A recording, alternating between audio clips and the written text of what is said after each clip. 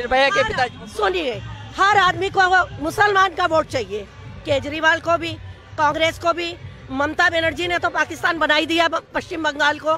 आप मुझे बताएँ हिंदू किसी को नहीं चाहिए? और हिंदू कहाँ जाएँ अगर पाकिस्तान से आए तो कहाँ मरे जाके? हिंद महासागर में डुबकी लगाएँ? मुसलमानों ने कोई इलाका दुनिया का छोड़ा जहाँ कब्जा नहीं किया अपना अब हिंदुस्तान में भी वो शर्जील जो पकड़ा गया कह रहा मैं इस्लामिक स्टेट बनाऊँगा। उसकी औकात? हमारे देश के टुकड़ों में पलते ये मैं कौन? इन गद्दारों का निकाल के बाहर करो बेशर्मों को।